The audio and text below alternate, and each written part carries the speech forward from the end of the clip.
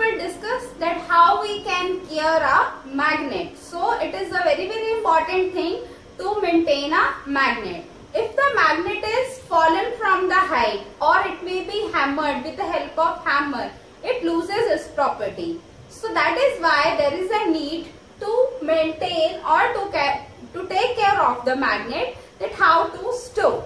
There is a there is method to store the magnet. So let's discuss how we can store a magnet.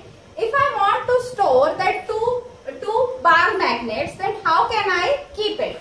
I'll keep it north and south this way and south and north means two unlike poles on the same side. On the same side I have taken two unlike poles. Like this we have to keep. In between, in between I have to keep a wooden block. Right? This wooden, wooden block I have kept in between these two bar magnets. Keep it in mind, if this side is north, this side should be south. If this is south and it should be north. Like this only we have to keep, we have to pack this. Okay. So on the ends, on the ends of this, the soft iron, the soft iron pieces are used. Okay soft iron pieces are used and these soft iron pieces are known as keepers. These are known as keepers. Right? So this way we have to maintain the, we have to store the magnet that unlike poles on the same side, wooden block between these and soft iron at the ends. Fine?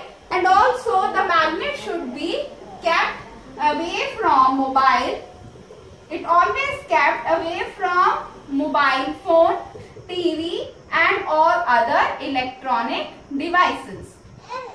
Fine. This way we have to take care of magnet. Now let's discuss some more about magnets and uses of magnet. So let's discuss the uses of magnet. Now let's discuss and now let's discuss where we, we can use the magnets. So let's start with the first. That magnets can be used in a computer hard disk okay and also in audio video cassettes to, record, to store the information. If we want to store the information these computer hard disks and audio video cassettes they are composed of magnets. So the next is you have seen a black strip on a black strip on the credit cards or the ATM card. This is also having some amount of magnet and this magnet is also used to store the information. The information of information or data is stored in that strip that is made up of magnet. Next is in the TV, doorbells and telephones magnets are being used. You have also seen some toys okay where the magnet is there. Fine.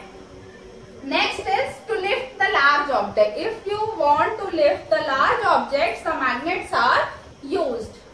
The next is important one that magnets are used to pick up and sort the objects made up of iron and steel. Why? Because the iron is get attracted toward magnet and steel is also because steel is composed of iron and carbon. Right? It is composed of iron and carbon. So that is why some amount of iron is also present in steel. That is why it is also attracted toward the magnet if there is there are many things and you have to pick up the iron things and the steel thing or you have to sort them then you can make good use of magnet this is all about magnets okay so in this chapter we have discussed that what are magnets what are the types of magnet after that, we have discussed that what are the poles of magnet. We are having two types of poles, like and unlike. Like poles repel each other unlike poles attract each other.